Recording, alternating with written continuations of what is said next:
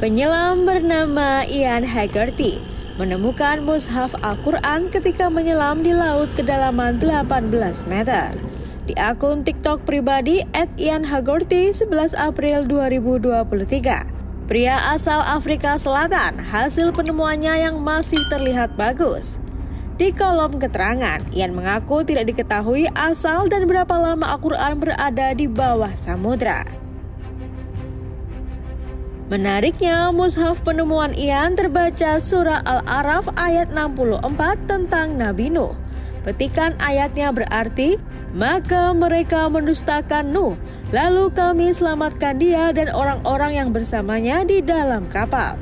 Kami tenggelamkan orang-orang yang mendustakan ayat-ayat kami. Sesungguhnya mereka adalah kaum yang buta mata hatinya.